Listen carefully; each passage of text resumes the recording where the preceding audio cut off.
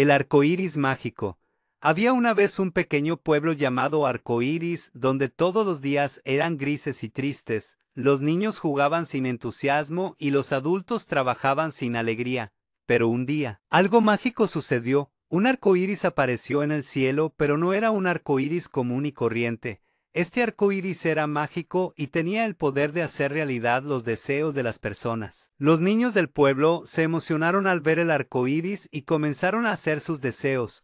Uno quería un juguete nuevo, otro quería un helado y otro quería un paseo en bicicleta. Y para su sorpresa, todos sus deseos se hicieron realidad. Los adultos también se emocionaron al ver el arco iris mágico y comenzaron a hacer sus deseos. Uno quería un trabajo mejor, otro quería una casa más grande y otro quería viajar por el mundo.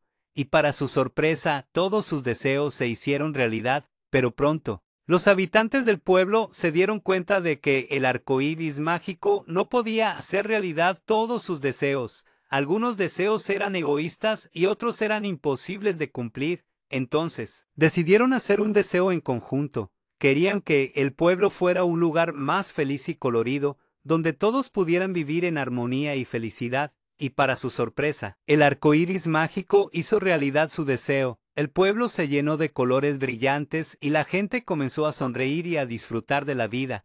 Desde ese día, el arco iris mágico aparecía en el cielo cada vez que alguien hacía un deseo sincero y generoso, y el pueblo de arco iris se convirtió en un lugar mágico y feliz, donde todos los deseos se hacían realidad.